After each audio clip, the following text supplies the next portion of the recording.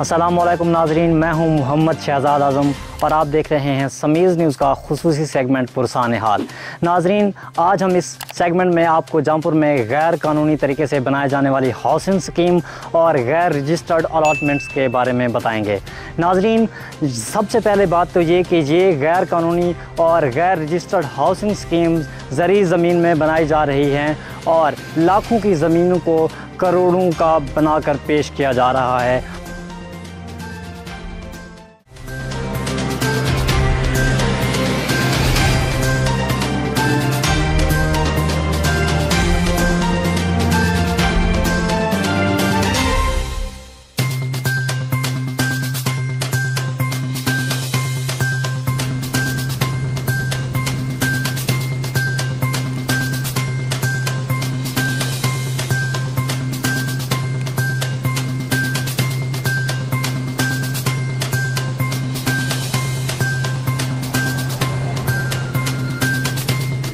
اور سادہ لو انسانوں کو آرائش زندگی، مدرسہ و سکول اور سہولیات زندگی یعنی کہ واٹر اور سیوریج کے سبز باغ دکھا کر ان کو لوٹا جا رہا ہے۔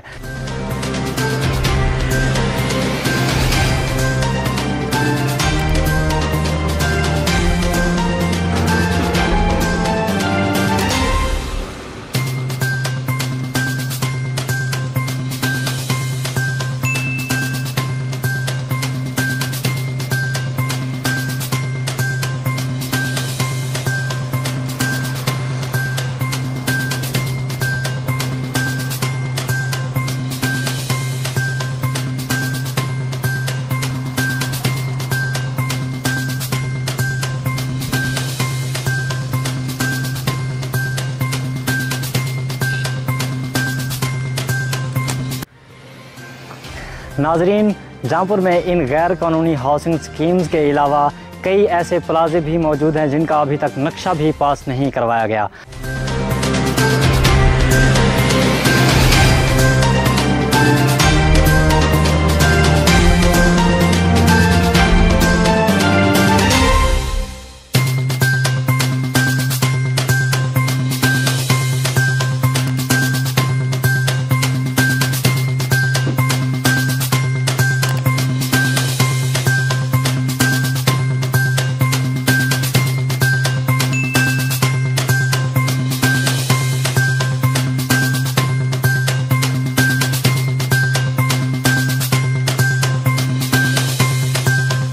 ناظرین، آیا کہ یہ ہاؤسنگ سکیم رجسٹرڈ ہیں؟ اور اگر نہیں ہیں، تو ان کو سہولیات زندگی، جیسا کہ بجلی اور واٹر کی سہولیات کیسے میسر کر دی گئی ہیں؟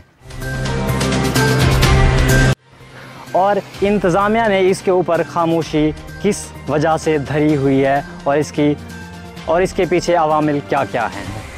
ناظرین، اگر ان غیر قانونی ہاؤسنگ سکیم اور غیر رجسٹرڈ پلاٹس اور پلازوں کو اگر رجسٹرڈ کروایا جاتا ہے اور اگر ان کا نقشہ پاس کروایا جاتا ہے، تو ٹیکس کی مد میں حکومت کو لاکھوں روپے لاکھوں روپے وصول ہو سکتے ہیں، جو کہ اس شہر کی ترقی میں استعمال کیے جا سکتے ہیں۔